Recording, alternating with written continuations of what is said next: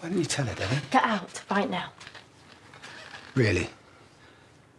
You want me to go? Well, then look me in the eye, say it once more, tell me to leave, and I'll be out that door. Say it, Debbie. I want You want me? Get off me. You know it's true.